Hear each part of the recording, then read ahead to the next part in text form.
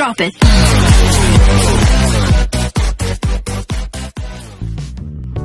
Ito na nga mga ka-sports natin dyan ang laban nga sa third set ng Primline versus ng Petrogas Angels. Maganda ang palitan talaga ng score mga ka-sports natin dyan dahil wala nga gustong magpaiwan sa dalawang team na ito sapagkat nga itong si Jonas Abete ay ginaganahan talaga at itong si Michelle gumabaw samantalang mga ka-sports natin dyan bago nga magtapos nga first technical timeout ay lamang nga ang Angels ng dalawang puntos. Ayaw nga talaga magpadaig ng Petrogas at gustong gusto talaga nila manalo sa third set kontra nga sa Creamline.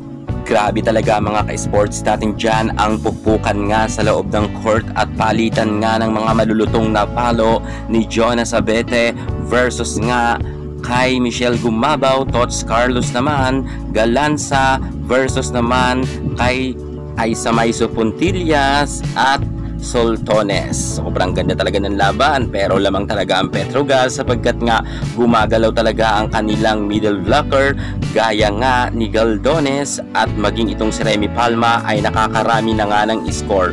Matindi rin na pinapakitang opensa at depensa nga ng nasabi nating Angels kung kaya nga nauungusan talaga nila ang Creamline Pool Smashers at kahit nga minsan ay nakakalamang na ng score ang Creamline ay nauunahan pa yan ng Angels. Dahil kumpiyansa talaga ang Petrogas na masungkit nila ang panalo.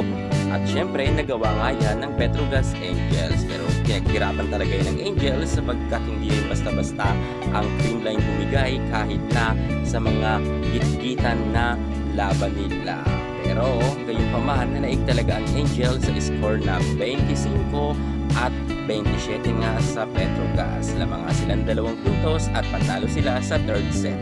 Congratulations muli sa Petrogas Angels. Makabawi pa kaya ang Creamline sa fourth set or tatapusin na ito ng Petrogas? Grabe talaga, hindi natin malalaman kung sino ang mananalo sapagkat nga halos dikitan talaga ang kani-kanilang mga scores. Abangan na lang natin ang kanilang laban sa fourth set. Kaya tumuto kayo at i-update ko kayo ng mabilisan. Thank you so much. God bless.